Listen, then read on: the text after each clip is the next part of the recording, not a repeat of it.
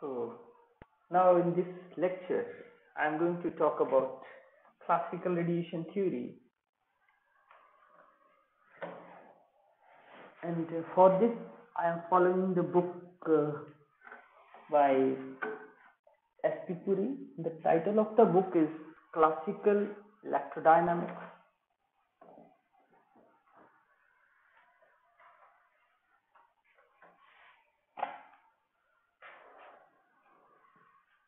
And uh, in this under this part of classical radiation theory, I am going to first of all talk about Lienard-Wiechert potential.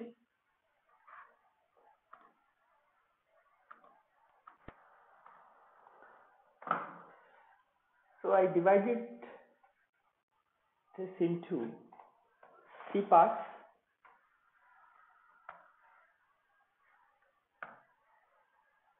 So first of all,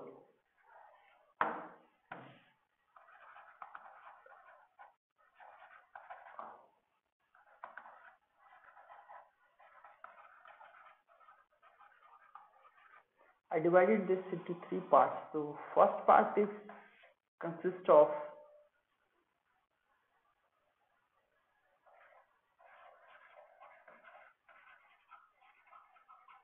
scalar and vector potential.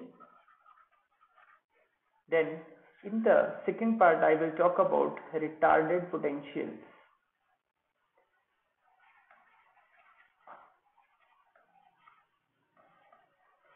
Then after discussing these two points, I finally try to discuss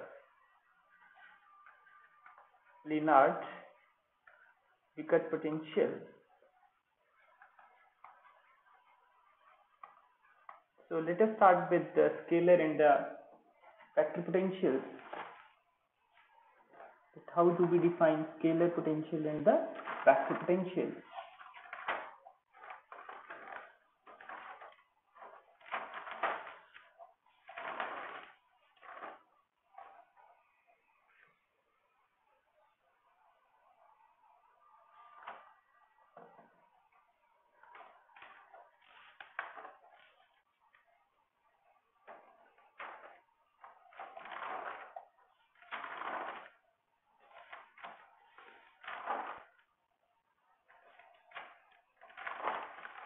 So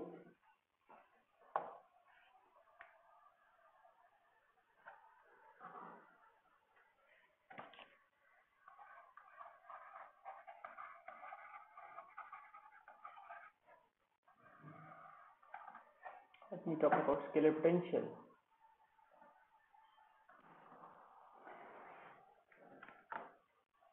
So since I know that the electric field due to continuation, continuous distribution of charge can be written as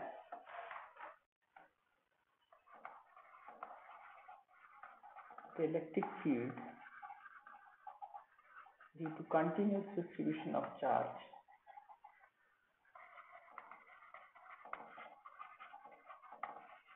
Charge can be written as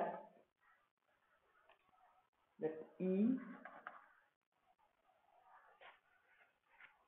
R be equal to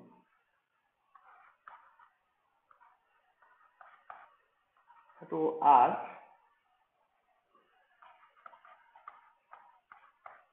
R minus R prime divided by R minus R prime mod Q. And d q bar is a volume element. It's integral. And rho r is the volume charge density or simply charge. Now since we know that from vector algebra that r minus r prime divided by r minus r prime mod cube it must be equal to minus del r minus r prime mod. So this is a standard result from vector algebra and if I use this operation here then the relationship for this electric field due to volume charge density will become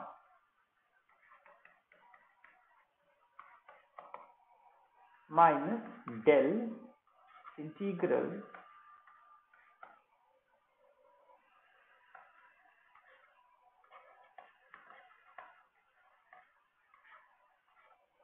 d r prime.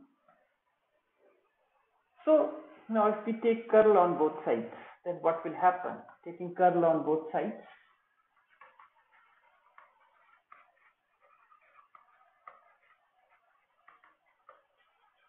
then what will happen? This is del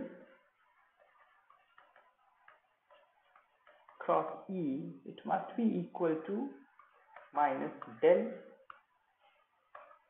cross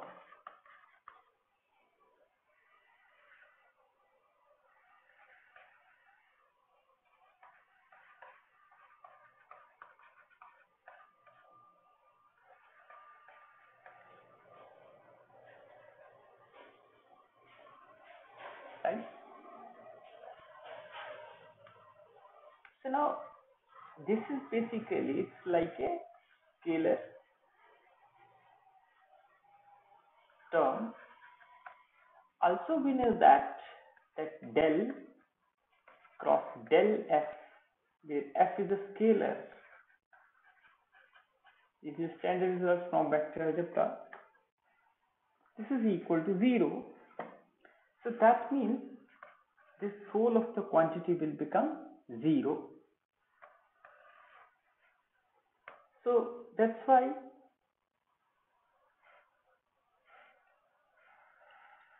we can say or that we can define phi as a function of r. It can be expressed as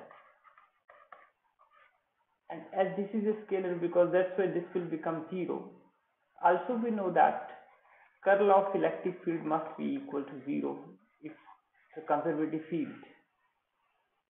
So keeping all these things in mind, this is equal to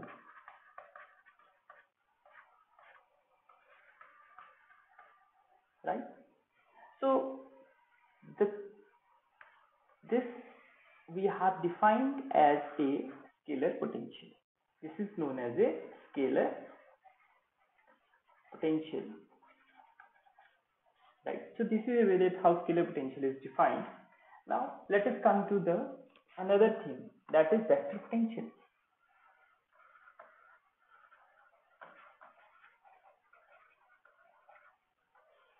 next is the vector potential and uh, we will define vector potential for the magnetic field. So now, using Biot-Savart's law,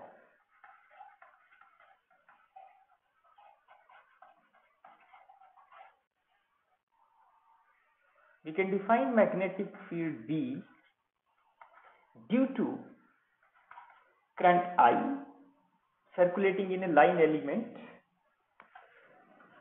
So this I, is defined as 1 by C this is Biot-Savart's law. This is a line element.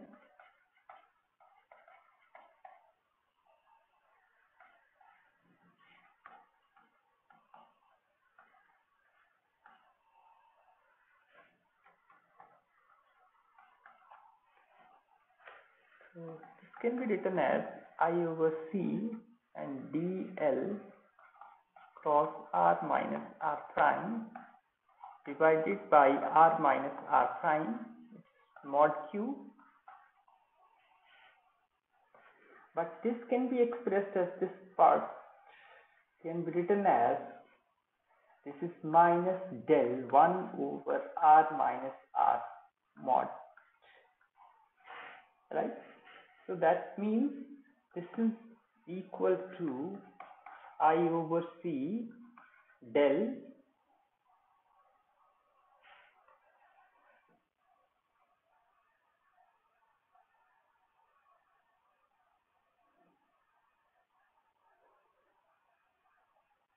after doing some mathematical manipulation.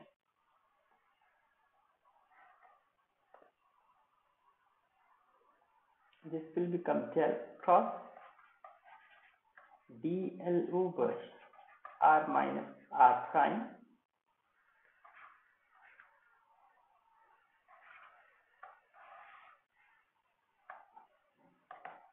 And this leads to I'm not going to talk about all these things in more detail because my intention is to talk about uh, Lienard Wiechert potential.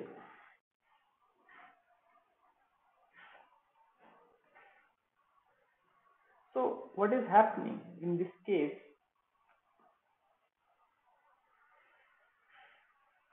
or uh, if what I will do it is define it is current density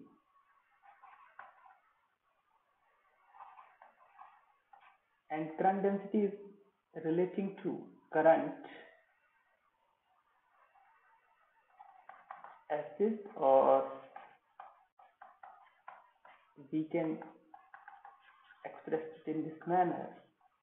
So that means this is replaced by del cross 1 by c.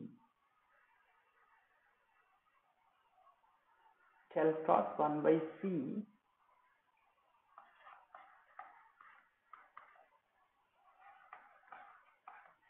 divided by this minus this right? So here it is the current density.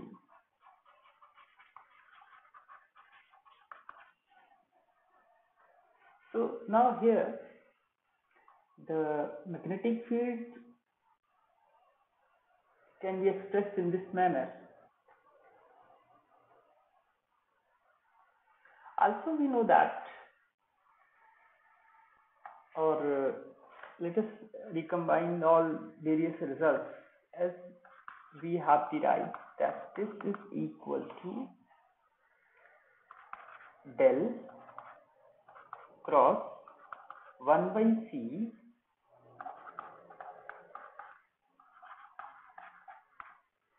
this divided by r minus r prime mod its integral. Also we know that del dot b is equal to 0 and another thing which we have also known to us that del cross b is equal to 4 pi over c jr now if this will happen and keeping this in mind it must be equal to 0 this is possible if and only if means this is possible if and only if b can be expressed as a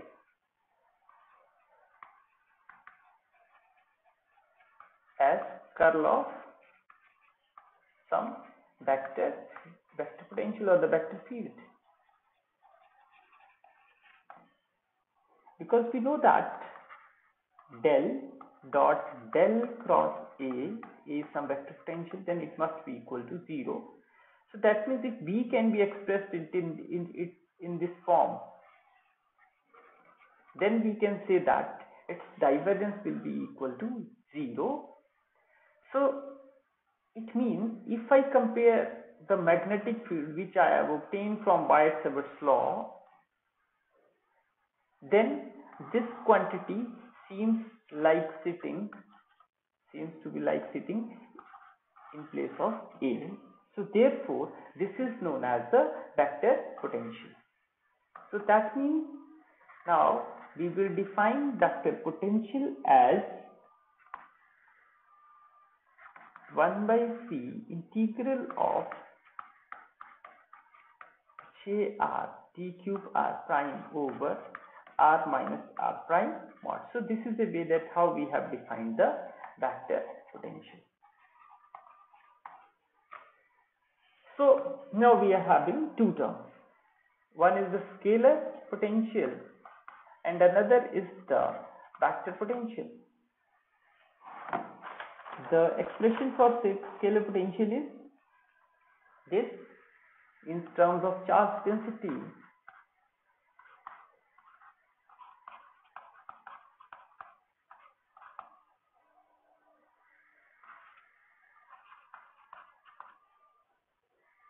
And for it it is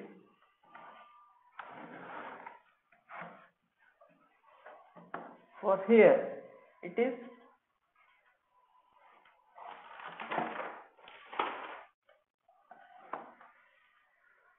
one by c